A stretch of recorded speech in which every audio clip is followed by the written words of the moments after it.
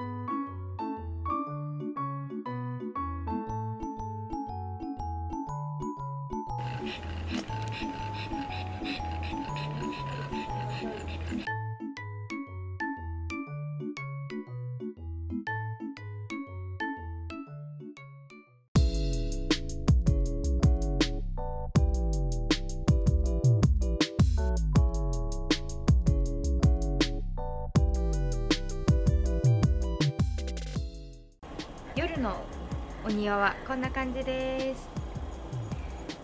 私のお家は桜の木や金木犀もみじが咲いています。おしたおしたおしたおいで。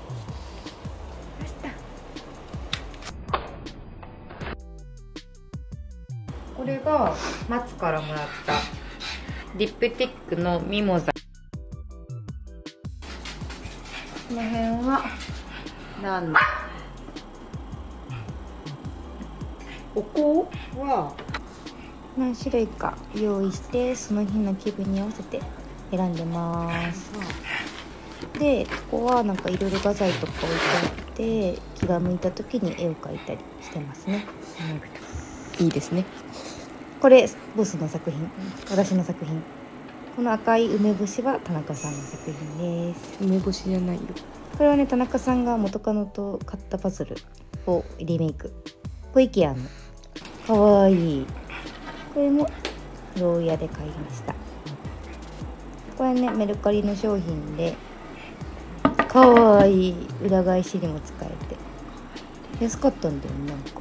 安かったね。誰かのこれほら見てこの裏側。結構ね変な草好き。こういう柄がある変な草。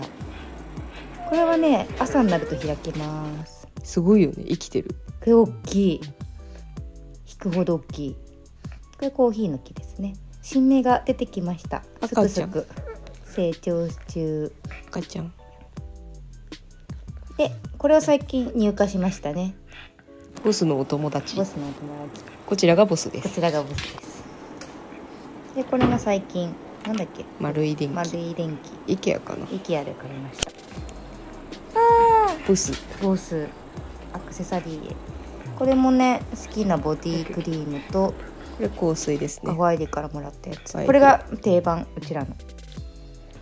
この辺もちょこっといろいろ置いてます。アクセサリー入れねキャンドル。キャンドル。これうちが好きなこれカホから誕生日プレゼントでもらったやつです。今貯金箱になってます。でこれはボスと安西先生ですね。あいらっしゃいます。いらっしゃいました。リビングとお庭とダイニングのルームツアーでした。どうだった？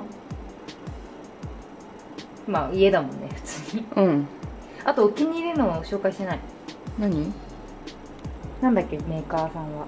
イズイールっていう指輪のメーカーで買いました。このボコボコしてるデザインにこの隙間にねダイヤとかを自分で後々はめられるの好きな数今後好きなようにデザインを変えていけるっていう指輪ですね。今度はねキッチンとかでご飯とか作りたいなと思ってるんですけど結構ねうんうん。インテリアとか香水とかお香とかは好きなやつをね教えてくださいってねよくうんうん。DM とか質問でいただくので、うんうん。今日はリビングをご紹介しました、ありがとうございました。はい。結構ねなんかめちゃくちゃ高いもんって多分私たちあんま買わないからうん。買いやすいものも結構多いのかなと、そうですでねねリサイクルショップとかも結構楽しいよね。うん。じゃあみんなでバイバイって。せーの。バイバーバイバーイ